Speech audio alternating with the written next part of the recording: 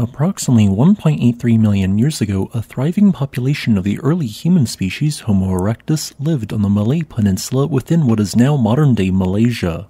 There, they moved from place to place to find food and hunt, employing primitive stone tools to make their efforts more efficient. Then, a previously unknown cataclysm struck, wiping out the regional population of Homo erectus that likely totaled several thousand. However, in the early 2000s, a potential answer to this mystery was discovered near the hill of Bukit Bunuh.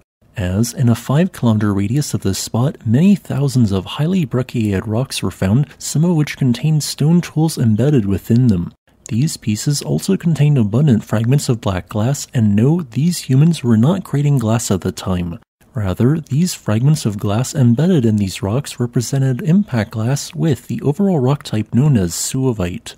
In other words, 1.83 million years ago, a major asteroid impact occurred, wiping out all humans in a 68 kilometer radius, covering an area which is 36% larger than the entire nation of Luxembourg. The impact crater formed by this event is oblong, being elongated towards the north northeast, representing the direction the impacting body was moving towards. This crater measures 4.96 kilometers long, 4.87 kilometers wide, and 480 meters deep. However, with such a young crater, you might ask, wait, why can't I see it?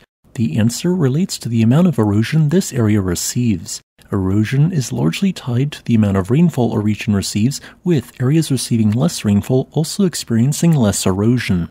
This is why the magnificent meteor crater in Arizona is so well preserved despite being 49,000 years old, as the vicinity only receives 31 centimeters of rain a year. In contrast, the similarly sized Yilan crater in China is the exact same age, yet is barely visible today owing to the fact that this crater receives 150 centimeters of rain a year. But the Bukit Bunuh crater receives double this amount, aka 300 centimeters of rain a year, and it is 37 times older than Yilan crater, hence why sections of this crater are buried by more than 1,000 feet of sediment. The impacting body which formed this feature has an interesting story as it represented a type of meteorite known as an achondrite. Whereas typical chondrites contain millimeter sized highly rounded particles referred to as spherules, achondrites do not contain these and instead contain partially round and highly angular fragments which make it look somewhat like breccia. Achondrites originated from the crust of asteroids or moons which were large enough to be differentiated, aka at least 15 kilometers wide, or the crust of rocky planets that suffered a large impact. These impacts on the aforementioned rocky bodies were large enough to eject angular fragments of rock at a speed higher than escape velocity before cementing back together. Thus, we will assume that the achondrite originated in the main asteroid belt between the orbits of Mars and Jupiter, as a 338 meter or 1109 foot wide asteroid with a mass of 62.6 million metric tons advanced towards the inner solar system, it accelerated to a speed of 17 kilometers per second or 38,000 miles per hour. Entering Earth's atmosphere, it began to partially burn up, going towards the surface at a shallow angle of 30 degrees.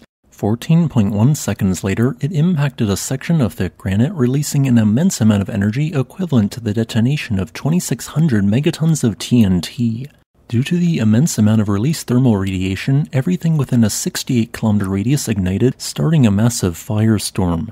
As a magnitude 6.9 earthquake was generated, which would have been felt within a 600 kilometer radius, an 8,000 mile per hour shockwave expanded outwards from the epicenter. For those Homo erectus who were lucky enough to survive the firestorm, a lethal overpressure wave would hit and kill all creatures within a 60 kilometer radius.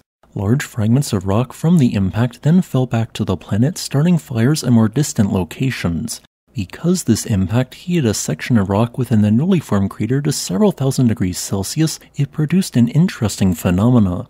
Due to the heat and pressure of the impact, it transformed a small layer of underlying limestone into a rock type known as hornfels in a process known as contact metamorphism.